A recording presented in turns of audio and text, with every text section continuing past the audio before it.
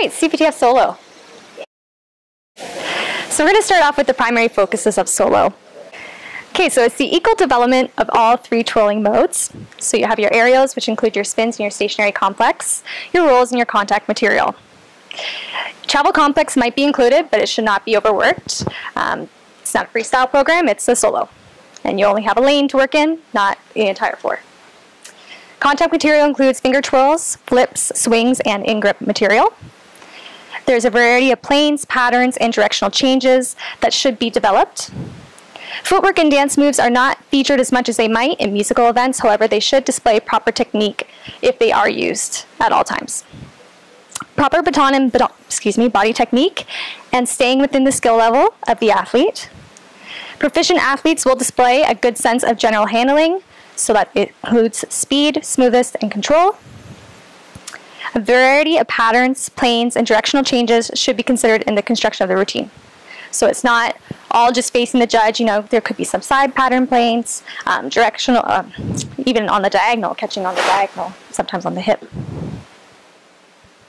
Okay, so what's some um, non-material that you might find in solo? well, if you had another baton, sure. triple walkover.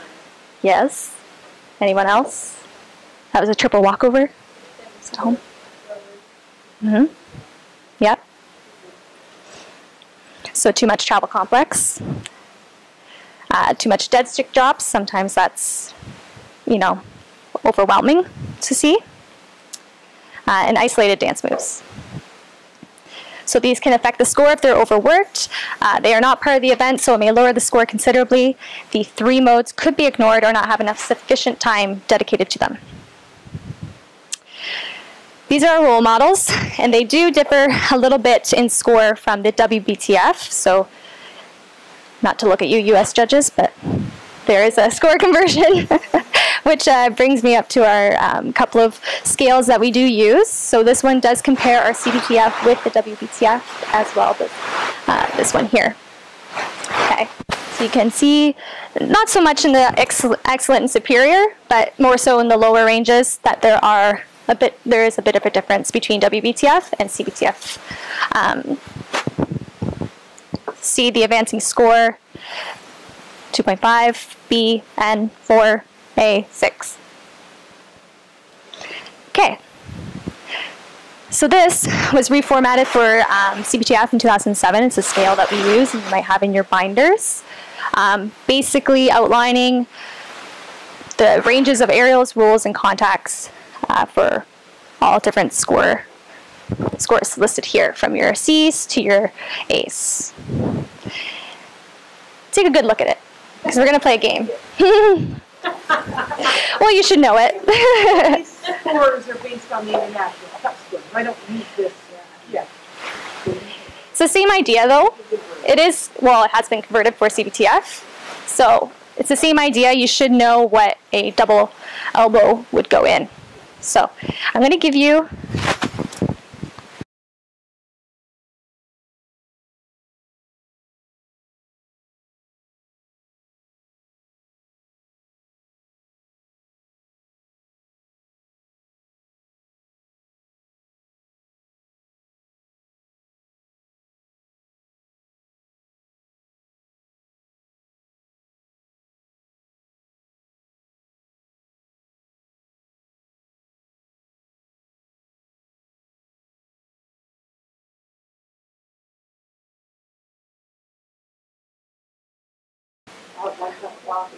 Okay, so I'm going to put the answers up.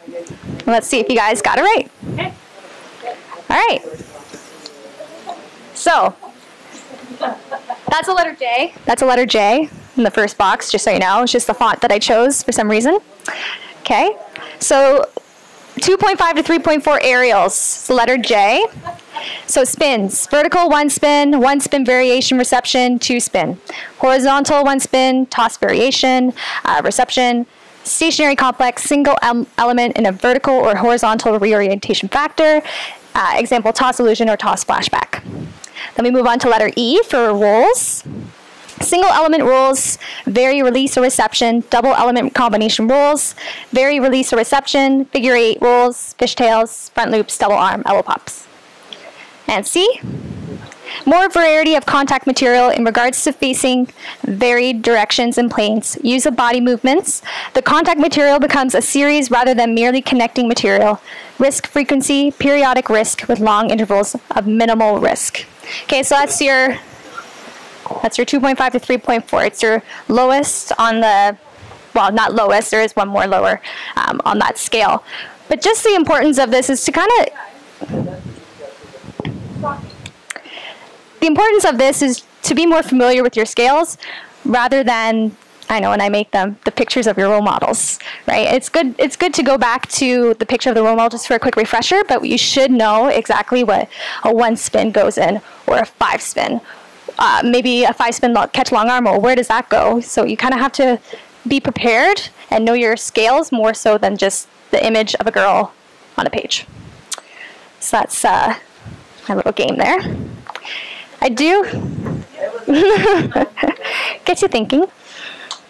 Okay, so I have a couple of videos. Actually, I do have a question. So when someone comes onto the floor and they start their solo, do you find that do you find that you're going, okay, what are they doing? Do they pull up and they do their three spin catch left, or do they do maybe eight counts of contact material and then their element? Um, do you find that you reward that better if they have a little bit more of a build and they're it's a little more dramatic, exciting, what are they going to do? Or do you like it when they pull up that big trick right away so you know, okay, they're an A athlete or they're a BN athlete? Just kind of open discussion. Do you find that affects your judging at all? No, you just. The prep before the aerials? Yeah, well, do you, do you find someone that takes more time to like introduce himself and then right. do the trick versus someone that goes first. Is there like, like she Well, it depends if it's gonna be like that throughout, like Yeah. trick, trick, Yeah, trick, it without any. It's really Intricacy good because and you have follow that balance, right? You don't want to just constantly do trick, trick, trick, trick, trick, trick, trick. And that Is there that connecting to material pacing. that may- maybe kind of, wow, she just came out of a, I don't know, some kind of really hard contact material, no preparation in their element for a triple okay. illusion, right? That's a prize. Right. You know, as, as you progress to those levels, is that follow through Mhm. management? Mm-hmm. Well, I bring that up just because sometimes I find I'm watching an athlete and they're taking their time with that swing section open, and I think, what is this athlete? What what skill is she or he? Um, and then they pull up and maybe they do a five spin. You go, whoa, that didn't seem like it. I didn't see that coming because they're doing a swing section. You think that maybe they'd be be doing harder contact material or just something more creative in their opening or wherever the trick may be. You know, some kids just need a run, uh, and, and then they do make the surprise, but I don't think that they're necessarily setting up the surprise as they are just their confidence level, getting on the floor for ten or twelve seconds, baton's still in their hand because they never left it. But, you know, that's their build to that, um, um, trick. I think it comes down to, the answer to how I would answer that question is that it never bothers me, um, it wouldn't affect my score how they started. What would, how would it affect it is that if it was consistent throughout, that demand, of course, it would, um, be higher. Yeah. Do you find that maybe you, your interest isn't as peaked when they're doing a swing section open and then they do a five spin? You're like, that was kind of confusing. Yeah, that would question.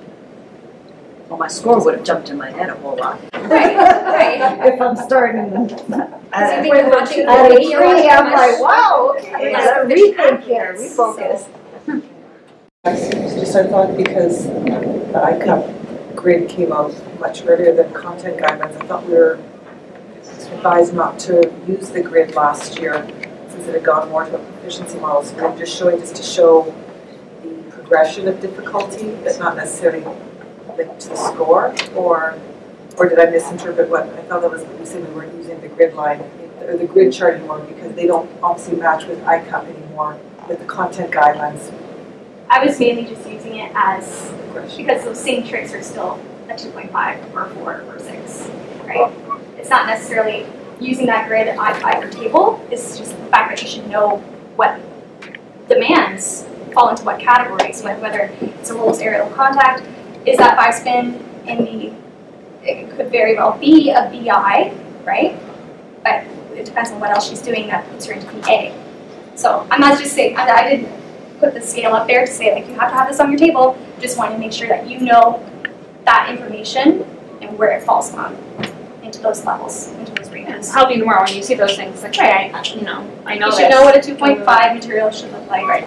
BI, BN, A, sorry, BN, Right. Remembering about technique, not just the material. That's right. sometimes you see a five spin, it should have been a three. That's, that's pretty general.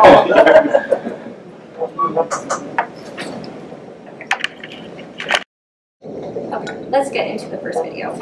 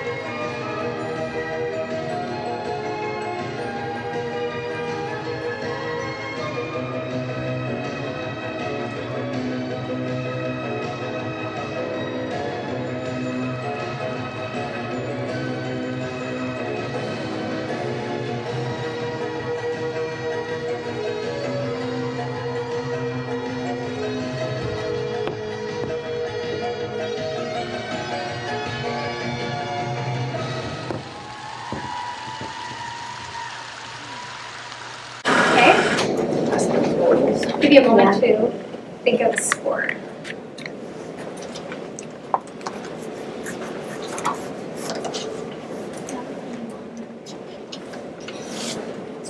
Would anyone like to share their score first? Well, um, I'd have her in the sixes. I think she'd definitely get a six here. Yeah. I, I, I'd say like six three, six four maybe. It's one of those trade-offs. Yeah. Because she's a, she is completing the material, but she has such poor Poor technique. Yeah. You know, all, and, and not just poor technique in her twirling, but her body, body, like everything she does, she does, she, she doesn't complete it all, but she completes it, but it's definitely a full range down, I think, because of, um, But we all agree that she would be an A athlete. Uh, A? no, I didn't. No, I I'd, I'd didn't. say high, maybe mid to high fives, but I don't think she's deserving of a I just six. consider Just because of her proficiency. technique in that. yeah, her, her rolls are quite. Her rolls They're stronger than, like, I've got her above, like, the role model, like, yeah, like, she's better than the role model. It is a five. There is twirlers in the A division Five eight. in our country that are not as good as her. Yes, there are several of them. And, no, I know, just saying, it's the same judges, like there's, you know, a few, well, like, that has been rewarded in the past for an A level, so like, we either need to say no and all get on a consistent basis and not give it a six, because when there's discrepancies, then the coaches, the athletes, they don't understand. So that's why I said, in Canada, do I think that she would get an A score? Yes. Do I think she's a six, six, six, seven? No. But do I think that she She's would just a get? border, right? Yeah, she's Live right. Uh, yeah. Right. And the other thing that really would answer that question for me, she didn't cheat her rolls. No. She had some very nice. The vertical one, Yeah. the horizontal one was uh, brakes, but she didn't grab. She didn't grab on them. Oh, her rolls by, by far the Were- best. were her She's strongest, yeah. by mid-six far. on her rolls and then her aerials and con, well, contact was nothing. Okay, um, this is from the CBTF library, mind you. So look here. her score was six point six, she had one drop, Six point six? six point six. Okay, so her strengths included, um, good posture, but she did have weak speed, weak, uh, free arms. Her movements weren't extended, so like, for example, her monster arms. Her monster rolls had bent arms, uh, so she should have had straighter arms. Um, her illusions, they weren't properly in alignment, they weren't full rotation. Um, she does maintain consistent speed, um, but doesn't have a lot of revolution. The balance of her modes is within her skill level, and her rolls are developing nicely. Her weaknesses, she crosses over on her spins. Uh, her monster roll is assisted, uh, which means she could perform a little bit stronger to get a higher score. Okay, athlete number two.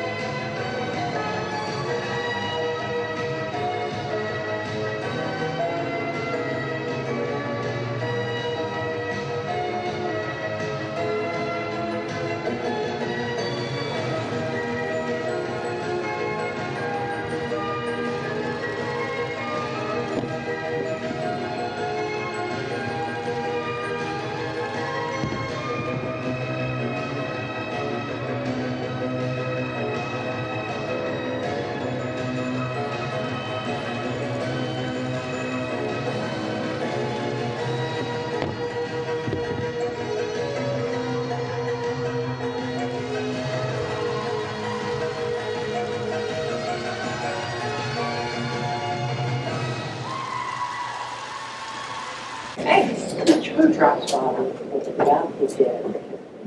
Where would you score her? Where would I like to score her, or where should she score? I'd say four eight. Okay. Anyone else? Like four two. I think she would score like around a five two, down here. Anyone else? So her score was four point seven and she had five drops. Strengths. The nice back neck section, however, may be too long, so she could add some variation to that to make it more detailed and interesting. Um, her three modes are covered. Her weaknesses, her two footing spins and head uh, thrown back. Um, she cups her cut back rolls, uh, lack of coordination and body, of body and baton, and she is right hand dominant in her aerials, which is her weakest mode. She does often slide to the end. You can see her, she does have some really nice fluidity in her flourishes and that preparation, but you can visibly see her hand slide off the center tape to the outside, which is not uncommon, but it's quite noticeable. She does, yeah. Mm-hmm. There's a lot of drops. Okay, I think we have time for one.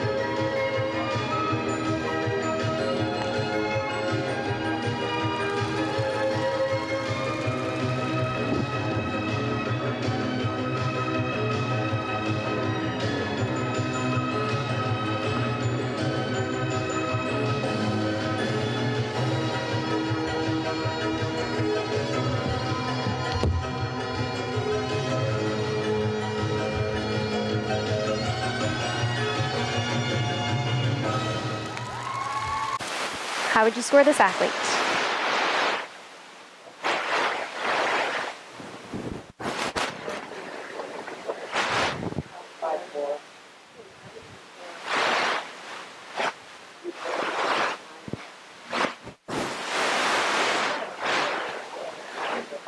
So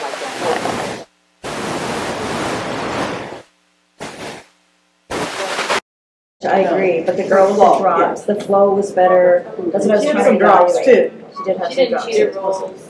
She technically handles the time better, yeah, she does. You would be right. This athlete had a score of five.